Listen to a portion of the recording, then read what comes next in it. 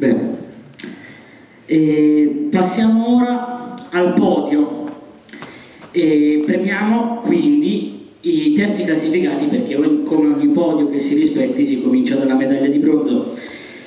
Cominciamo dalla traduzione e chiamo sul palco l'autrice di questa splendida traduzione eh, che è Veronica Orciari della quinta B del ginnasio.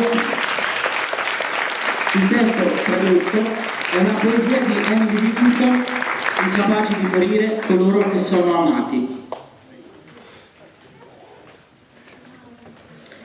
Ascoltiamo intanto un giudizio critico di Marco Lobascio.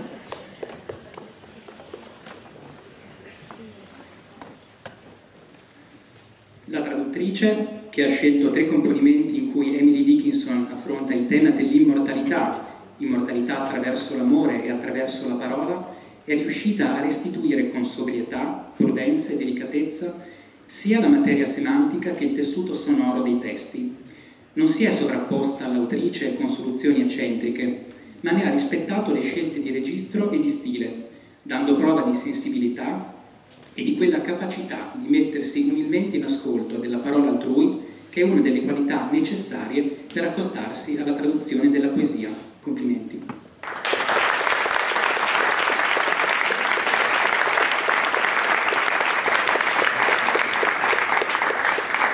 Ne ascoltiamo ora la lettura di Viola Cornelli, sempre della quinta ginnasio.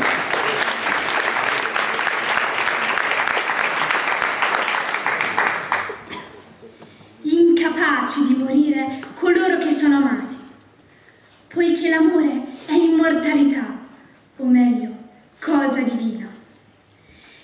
Incapaci di morire coloro che amano, poiché l'amore rigenera la vita.